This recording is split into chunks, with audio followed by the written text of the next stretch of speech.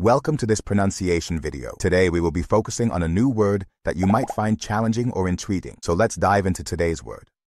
Genérica, which means, A feminine form of a generic or non-specific entity. let's say it all together. Genérica. Genérica. Genérica. One more time. Genérica. Genérica.